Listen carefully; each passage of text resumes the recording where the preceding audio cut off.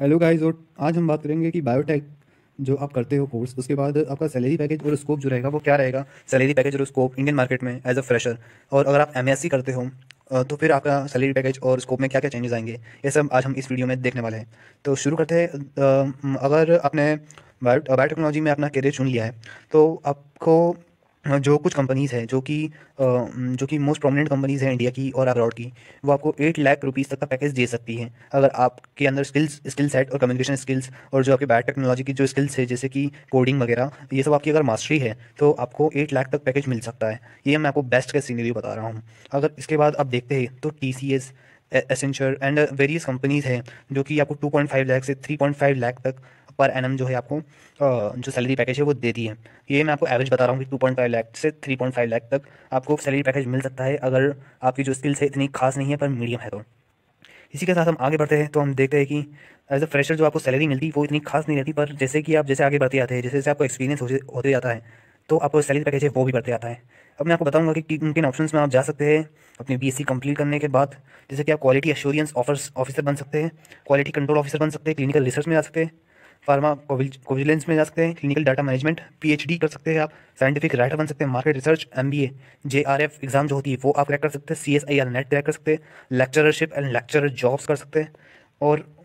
और जो है, आप एम एस सी बायोटेक्नोलॉजी में भी जा सकते हैं और इसके अलावा अगर मैं आपको सैलरी पैकेज बताऊँ, जो है क्यू या फिर Q C quality control officer का रहता है तो दस हज़ार से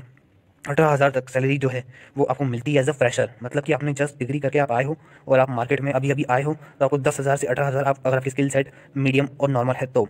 अगर आपकी स्किल सेट अच्छी है तो you can expect good amount from the market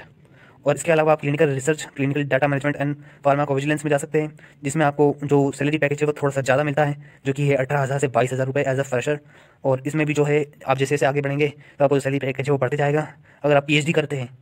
मतलब M S M S C biotechnology आप पी एच डी करेंगे after after M S C biotechnology तो जो आप फिर उसमें उसमें आपको जो C S I R NET qualified आप कर चुके हैं और आपका प्रोजेक्ट अप्रूव हो चुका है तो आपको आठ हज़ार से तीस हज़ार रुपये तक का जो पैकेज है वो लग सकता है और इसी के थ्रू आप अपना एक उज्जवल भविष्य बना सकते हैं।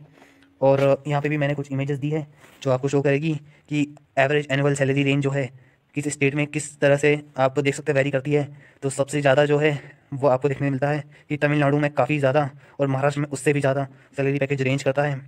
तो ये आपके लिए एक अच्छी बात है कि आप इन स्टेट्स में आके भी जॉब कर सकते हैं। इसके अलावा आप देख सकते हैं कि किस किस सेक्टर्स में क्या क्या जॉब की जॉब के ऑफर्स है और जो सैलरी पैकेज है किस रेंज में है। आपका रिसर्च एंड डेवलपमेंट में आप देख सकते हैं सिक्सटीन लाख तक जा सकता है सैलरी पैकेज वहीं आप कार्डियोलॉजी में फिफ्टीन लाख एक्सपेक्ट करते हैं और एकेडमिक्स में नाइन लाख तक मैक्सिमम पैकेज जाता है। और इसके अलावा मैं आपको बताता हूँ तो जूनियर प्रोडक्शन मैनेजर आपको इतना सैलरी दे सकता है पर ईयर तीन lakh